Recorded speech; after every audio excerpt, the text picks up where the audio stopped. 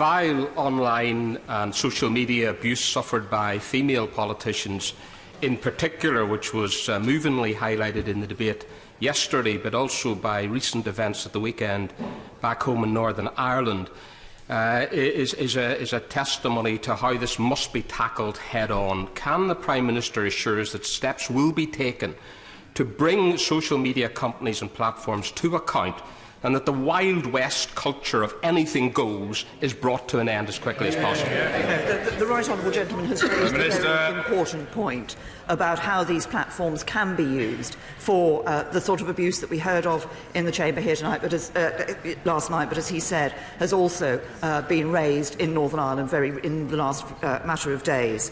Uh, we are working with the social media companies.